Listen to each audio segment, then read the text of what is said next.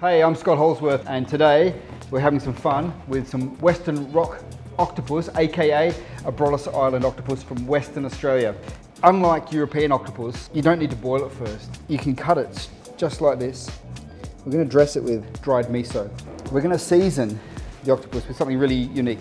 Nori, mushroom and lemon myrtle from the Saltbush Kitchen. This is an absolute beauty.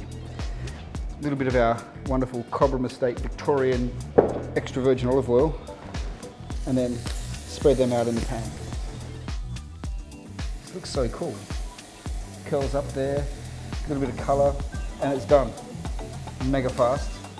Now, keeping it simple from here, we're going to put a little bit more of the olive oil, some fresh lemon juice, a little bit of spring onion. You don't need to put chili, but I need to put chili. So now our special miso seasoning powder. Probably could do with another slug of olive oil. Finished off with a little bit of the bush seasoning.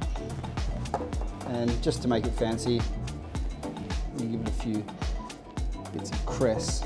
I reckon we could do a little more lemon in there. I can see that it's not acidic enough, but look at that. That's fresh, that's summer.